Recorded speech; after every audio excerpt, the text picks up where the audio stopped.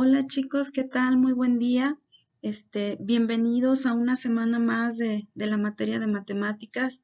Estamos ya en la semana 30, eh, que corresponde del día 19 al 23 de, abril. Casi, bueno, pues ya en el tercer y último trimestre. Los invito a ver el video de esta semana y pedirles que, que pongan todo su entusiasmo y empeño porque ya estamos al final del ciclo escolar, ya falta poco. Entonces, eh, espero que disfruten el video, que tengan un buen día y una excelente semana. Nuestro tema de esta semana será Sistema de ecuaciones por el método de sustitución.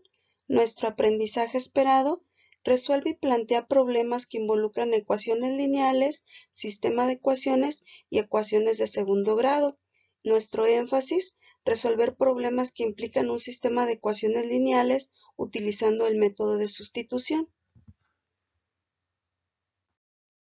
Un sistema de ecuaciones con dos incógnitas está formado por dos ecuaciones de primer grado, relacionadas entre sí mediante las dos incógnitas. ¿Qué se conoce sobre el método de sustitución? Bueno, aquí nos dice que cada ecuación representa una condición o una restricción del problema por lo que encontrar la solución significa obtener los valores de las incógnitas que lo resuelven o hacen verdaderas ambas ecuaciones. Stan Buder, un distinguido profesor de matemáticas de la Universidad de Denver, dice que la esencia de las matemáticas no es hacer las cosas simples complicadas, sino hacer las cosas complicadas simples. Para seguir la idea del profesor Buder, se tiene un sistema de dos ecuaciones lineales con dos incógnitas cada una, como podemos verlo lo que es en la imagen. Una ecuación 1 y ecuación 2. Ahí no lo dice lo que es la imagen. Se lo denomina X a la primera incógnita y Y a la segunda. A continuación, se tiene una situación problemática para emplear un sistema de dos ecuaciones con dos incógnitas y nos dice lo siguiente. En una escuela secundaria de la Ciudad de México se llevó a cabo una campaña de vacunación. Se aplicó la vacuna P al 50% de las alumnas y al 20% de los alumnos. El total, el total de personas fue de 70. También se aplicó la vacuna C, esta vez a un total de 55 personas, de las cuales 50% fueron alumnos y 25% alumnas. Empezamos haciéndonos la siguiente pregunta. ¿Cuántas alumnas y alumnos recibieron las vacunas P y C en esa secundaria? Para resolver la situación problemática se debe comprender como un primer paso el problema. Eh, esto significa que la suma de alumnas y alumnos que recibieron la vacuna es igual a 125, donde el 20% de los alumnos recibió la vacuna P, el 50% de las alumnas recibió la vacuna eh, P, el 50% de alumnos recibió la vacuna C y el 25% de las alumnas recibió la vacuna C. Si se ordena la información en, en, la tabla que tenemos, se tiene pues lo que sería lo siguiente. En la ecuación 1 se tiene 0.20x más 0.50y. Esto es igual a 70. Luego, nos quiere decir que 0.20 de x, eh, porque representa el 20% de los alumnos que recibieron la vacuna P y 50% o en este caso punto .50 de Y porque representa el 50% de las alumnas vacunadas. De manera similar se encuentra en la ecuación 2, como pueden observar, punto .50 más punto .25 que sería igual a 55, lo que sería el 50 y 25% de, de los alumnos. Por lo tanto, el sistema de ecuaciones se forma como podemos observarlo en nuestra imagen. Y nos quedaría de la siguiente manera. En la ecuación 1, 0.20x más 0.50y igual a 70, se despeja cualquiera de las dos incógnitas que se tienen. Para despejar y, se suma el inverso aditivo de 0.20x, que en este caso es 0.20x negativo en, en ambos miembros de lo que sería la ecuación. 0.20x más 0.20x negativo más 0.50 igual a 70 más 0.20x negativo. Bueno, de esta manera se tiene que y es igual a 70 menos 0.20x entre 0.50 que sería, esta sería la opción 1. Para despejar x se suma el inverso aditivo de 0.50y que en este caso es 0.50y negativo en ambos miembros de la ecuación. Eh, y nos quedaría 0.20x más 0.50y más 0.50y negativo es igual a 70 más 0.50y eh, negativo. De esta manera se tiene que x es igual a 70 menos 0.50y entre 0.20 y esto sería nuestra opción número 2. Veamos lo, que es nuestra siguiente imagen eh, para explicar lo que sería la ecuación 2. En, en, lo que estamos viendo nos dice que 0.50x más 0.25y es igual a 55.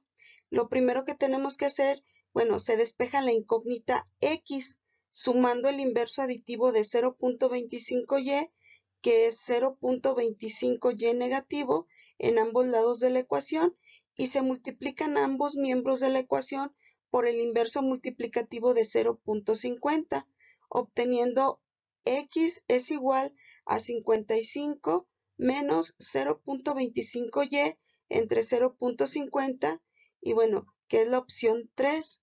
Por otro lado, se despeja y de la ecuación 2 para ello sumas en ambos lados de la ecuación el inverso aditivo de 0.50x, que es 0.50x negativo, después se multiplican ambos miembros de la ecuación por el inverso multiplicativo de 0.25, obteniendo que y es igual a 55 menos 0.50x entre 0.25 y esta sería nuestra opción número 4. Como pueden ver en cada una de nuestras ecuaciones tenemos dos opciones. Ahora eh, debemos de considerar que la situación del valor algebraico de la incógnita elegida eh, debe hacerse en la otra ecuación, como lo hemos venido explicando. Es decir, si se elige el despeje de una incógnita de la ecuación 1, se debe sustituir en la ecuación número 2. De este modo, se tiene el despeje de la incógnita x de la ecuación 1, por lo que se sustituye del valor en la ecuación 2, como podemos observarlo. Entonces, el despeje de la incógnita x de la ecuación 1 es x es igual a 70 menos 0.50y entre lo que sería 0.20. Después, en la ecuación 2 se sustituye la incógnita x o el valor algebraico en lugar de la x de la ecuación número 2. El despeje de la incógnita x de la ecuación 1 es x es igual a 70 menos 0.50y entre 0.20. Continuando, eh, en la ecuación 2 es 0.50x más 0.25y es igual a 55. Para hacer la sustitución, se reemplaza el valor algebraico de, la variable x que se despejó de la ecuación 1 por la x de lo que sería la ecuación 2, lo cual implica que 0.50 multiplica a paréntesis 70 menos 0.50y entre 20 punto 20. Se cierra paréntesis más punto 25y igual a 55. Bien, para resolver lo que sería la nueva ecuación de una incógnita, primero se resuelve el paréntesis de la siguiente manera, como podemos observarlo. Se divide cada término dentro del binomio entre punto 20. Esto es 70 entre punto 20 igual a 350 menos punto .50 eh, y entre punto .20 igual al sustraendo que sería 2.5y.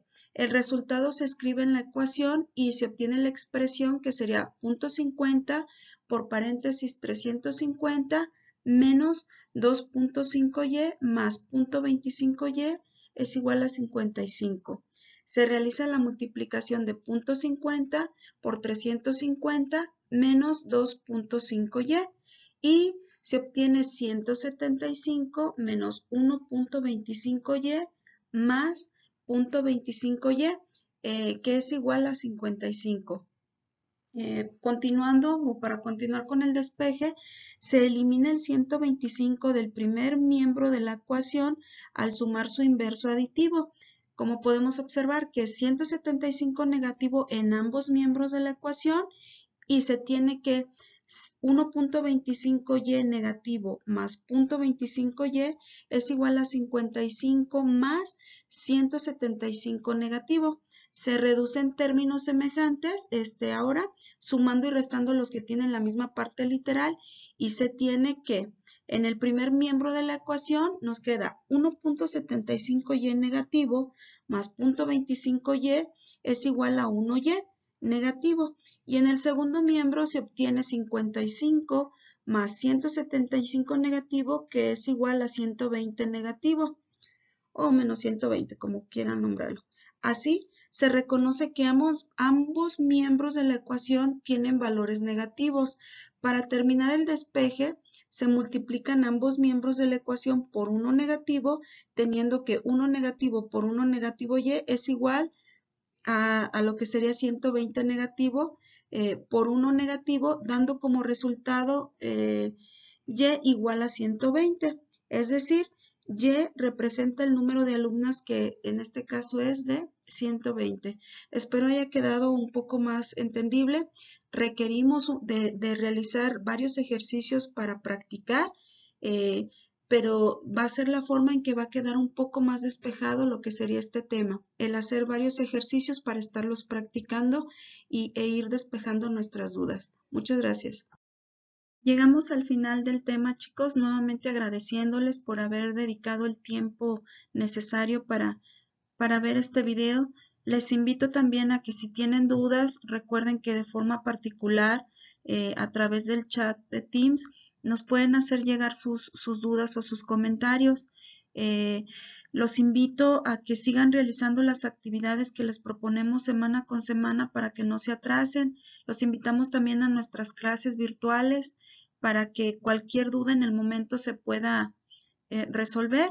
Y bueno, pues desearles que tengan el, mejor de los éxitos y que pasen un excelente día. Muchas gracias por todo.